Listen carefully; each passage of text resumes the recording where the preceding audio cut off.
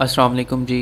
तीन फो टी की वीडियोस में एक दफ़ा फिर से खुश आमदीद। आज की वीडियो में आपके लिए लेके आए हैं गवर्नमेंट ऑफ़ पाकिस्तान की तरफ़ से मिनिस्ट्री ऑफ़ ह्यूमन राइट्स में बहुत सारी पोस्टें, जिन पर अप्लाई करने के लिए आपने कहीं अपने डॉक्यूमेंट्स नहीं भिजवाने, कोई आपने एप्लीकेशन डाउनलोड नहीं करनी, जस्ट सिंपल आपने घर बैठे ऑनलाइन अप्लाई करना है और आपका इन पोस्टों पर अप्लाई हो जाएगा। कंप्लीट डिटेल आज की वीडियो में जानेंगे कौन कौन सी पोस्ट आई है, उस पर आपने अप्लाई कैसे करना है, एज लिमिट इसमें उन्होंने क्या रखी है।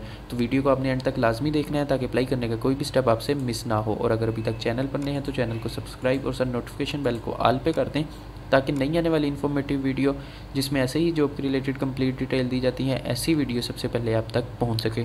तो अब हम चलते हैं मिनिस्ट्री ऑफ़ ह्यूमन राइट्स के ऐड की जाने पर, जान लेते हैं कि कौन कौन सी पोस्ट आई है, जिस पर हम अप्लाई कर सकते हैं। तो सबसे पहले जो child protection officer social welfare की पोस्ट है B P S seventeen scale इसका आपको मिलेगा।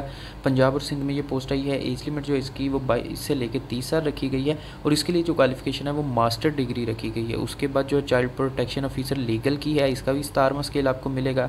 इसके लिए जो एजुकेशन रखी है वो एल एल बी रखी है। बाईस से लेकर तीस साल इसकी भी एज है। उसके बाद स्टाइनोटाइपिस की पोस्ट है। चौदह इसका आपको स्केल मिलेगा। इंटरमीडिएट जैसे इसके लिए रिक्वायर्ड रखा गया है। अठारह से लेकर पच्चीस साल इसमें एज लिमिट है।